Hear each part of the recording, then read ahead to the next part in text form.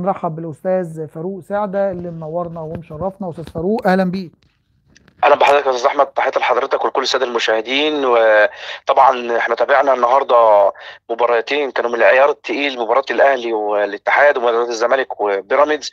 آه، طبعا زي ما أنت حضرتك قلت بالظبط النادي الأهلي جمهور كله ما بيتكلمش على الأداء. دلوقتي الأهم النتيجة وأنا واحد من الناس فعلا النتيجة أهم عندي من الاداء آه، أنا شايف إن إحنا عملنا مباراة كويسة. الشوط الأول أو الشوط الثاني في المجمل يعني انت بتتكلم في المجمل يا أستاذ فاروق انت عايز ثلاثة نقاط يعني. أنا أنا مش عايز أنا نفسي أيوه أنا بقول الشوط الأولاني إحنا لعبنا كويس الشوط الثاني تراجع ده طبيعي إحنا بنلعب كل 72 ساعة عندنا مباراة كمان يومين مع المصري في برج العرب بعديها هتلعب مع ايسترن كومباني بعديها هتروح على ماتش الرجاء لا فالدنيا هتبقى صعبة شوية فده أحسن حاجة. ال rotation عاجبني جدا. ولو إني كنت أتمنى إن إن ميكيسوني يكمل للآخر كان أفشة وشريف لا خليهم ريحهم المباراة دي للآخر. عشان ما كنت أنا كنت شايف إن هم ما لهمش يعني ما كانش ليهم لازمة إنهم يتغير ينزلوا.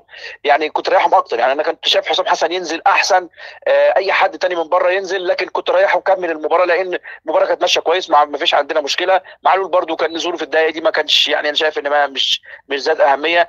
أنا مع حضرتك إن كريم فؤاد طبعا أنا أنا الولد ده ما شاء الله عليه شوية آه، يعني شوية كمان كده وشوية ثقة ممكن تلاقيه في منتخب مصر مش بس على قد النادي الأهلي كمان آه، محمود وحيد أنا شايف إن الموضوع هيبقى صعب السنة الجاية إنه يتواجد في النادي الأهلي آه بيجتهد ويعمل اللي عليه لكن مش قماشة النادي الأهلي ومش لعب النادي الأهلي ومش هو ده اللي هيقدر يا أستاذ أحمد. ده وجهة نظري الشخصية يعني إنه يقدر يكمل في نفس متفق معاك. الموضوع إحنا الموضوع صعب عندنا والموضوع آه، مش هيبقى سهل آه، بالنسبة لمحمود وحيد. فاحنا نتمنى له التوفيق طبعا لكن الموضوع صعب. محمود بقى له معانا كام سنة وخد فرص كتيرة جدا مش قادر.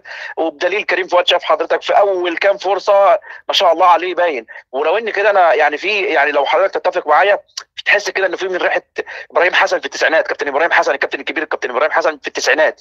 آه، طريقة الجارية وطريقة اللعب وال- والحماس والروح. أنا والله وأنا بتفرج عليه أنا كنت بروح للست في التسعينات وبشوف كابتن إبراهيم حسن حسيت إن أنا شايف إبراهيم حسن بس بقى لسه على صغير. أتمنى إنه ياخد نفس.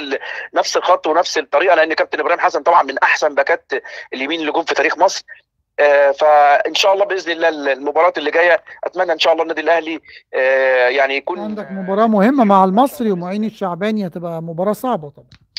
أكيد أكيد. والمصري كمان هيبقى جاي يعني محضر لك المباراة ولو إن المصري يعني في في في الدوري غير الكونفدرالية تماما مختلف تماما ولكن. إحنا مش عايزين نلعب على الحتة دي. إحنا عايزين نلعب لعبنا إحنا وإن شاء الله بأمر الله إحنا يعني على قدر المسؤولية وبأمر الله نقدر آه، نعدي المباراة كلها فوز لأن محتاجين منها محتاجين الفوز إن شاء الله بإذن الله. إن شاء الله. طيب تصريحات ما بعد المباراة يا أستاذ فاروق.